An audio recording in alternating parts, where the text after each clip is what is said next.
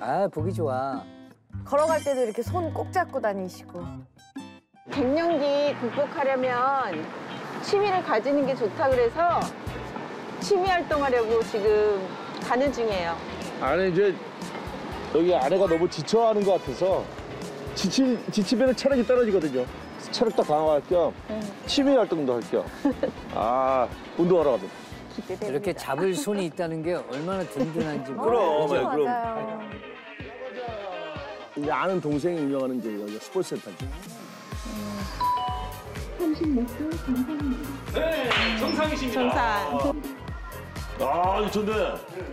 오늘 무슨 일로 이렇게 센터 아니 이제 그 우리 형수님이 네. 갱년기를 극복하기 위한 취미 활동이나 이제 그또 체력이 약해졌어요. 그러시면 안 되죠.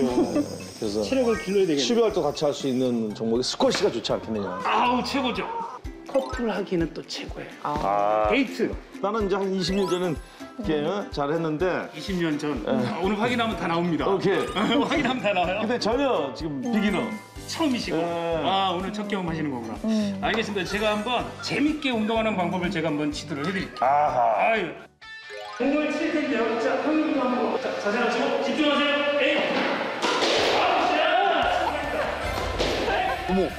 너무 잘해. 오늘 진짜 잘하시는데요? 정균 오빠 너무 잘해.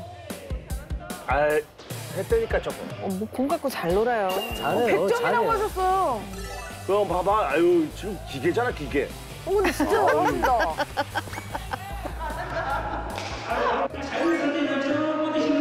천천히 치세요. 어? 잘하시는데요? 아 골프 치듯이 하라 그래서. 어, 잘하시는데요? 네. 그다 깜짝 놀랐다 이거. 신동.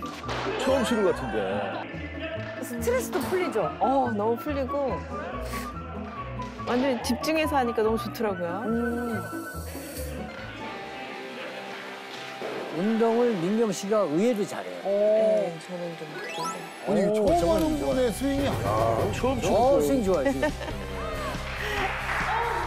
처음인데 이 정도면 정말 훌륭하고 네. 이렇게 부부들끼리 연인들끼리 한 한 달 정도만 하면 체력을 올려주고 스트레스도 풀고 갱년기도 쫙 사라져요. 아. 그래. 아, 이 자, 화이팅! 네, 저분은 레크레이션 강사예요. 어, 선생님 에너지 너무 좋으신데. 너무 진짜 성격 좋은데? 네. 자. 그렇지. 그 갱년기 때 자신을 위해 투자를 하고 또 취미 생활을 가지면 활력이 생겨서 갱년기 우울증 증상 개선에도 도움이 될 수가 있는데요. 남편분이나 가족분들도 함께 하시면 갱년기 극복에 더 큰 도움을 받을 수가 있습니다. 음.